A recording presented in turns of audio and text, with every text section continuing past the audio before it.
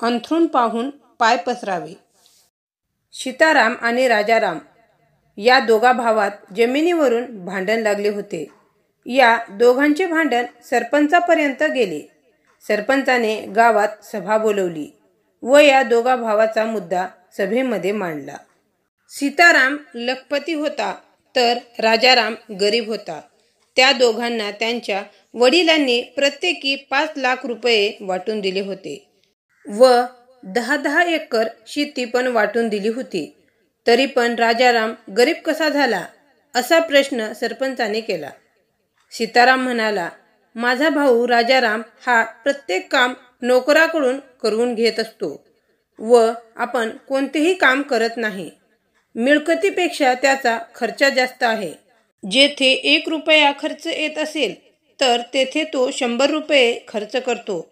म्हणून आज तो अन्नाला महाग झाला आहे व त्याच्या मुलांचे शिक्षणसुद्धा थांबले आहे.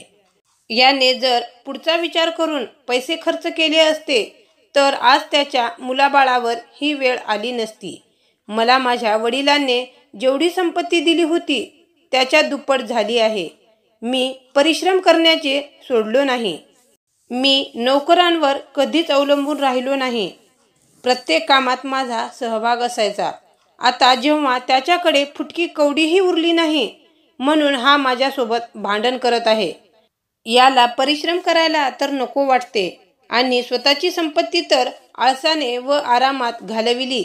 आता माझ्या संपत्तीवर याचा डोळा आहे. सरपंचांना सीतारामचे बोलणे पटले व सरपंचांनी राजारामला सांगितले की तू मिळकतीच्याच मानाने खर्च कर व कष्ट करत जा. राजारामला त्याची चूक कळली. तात्पर्य. अंथरूण पाहून पाय पसरावे. आपल्या ऐपतीच्याच मानाने खर्च करावा.